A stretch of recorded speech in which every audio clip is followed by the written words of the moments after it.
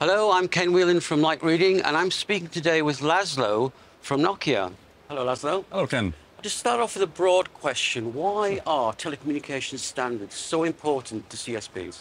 Well, actually, there are a number of reasons why standards are so important for them.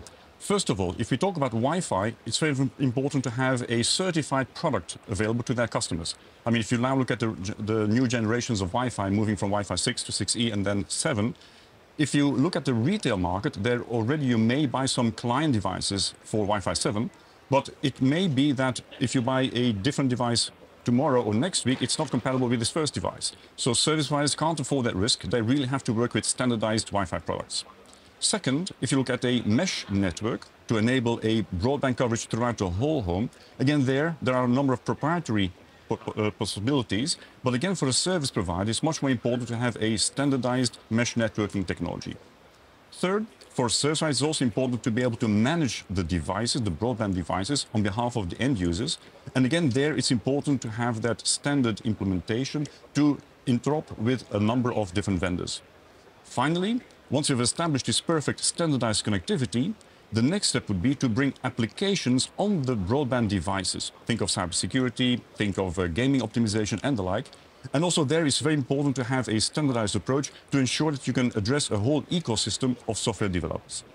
Uh, thank you for that. Um, but how does Nokia's new beacon fit into that sort of industry standardization picture that you just painted? Indeed. Uh, great question. So our beacon 10, the new beacon that we have just introduced, first of all, it is a Wi-Fi 6E product and at Nokia, we ensure that every Wi-Fi product that we bring to the market has been certified by the Wi-Fi Alliance.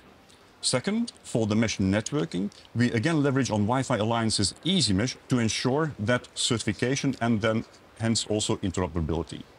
Third, for the management, we are now leveraging TR369, also known as the User Services Platform, USP, to again ensure that cloud platforms can manage our devices. We have a cloud platform that provides a TR369 interoperability, which can manage our device, but also other vendors' Wi-Fi devices if they also support TR369.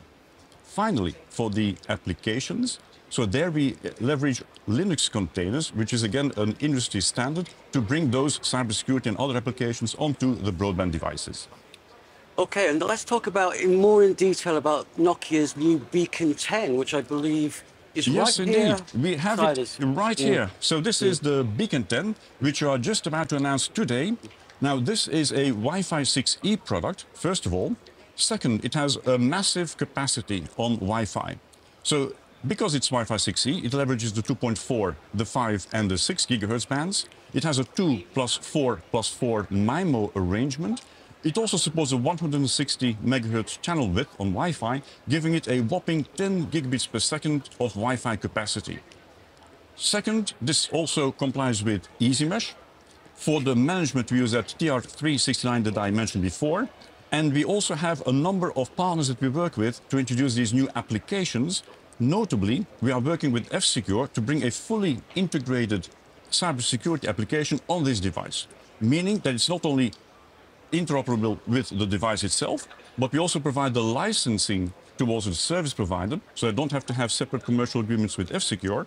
And we also make sure that the mobile app that we use for Nokia Wi-Fi is also extended with the F-Secure capabilities for the cybersecurity.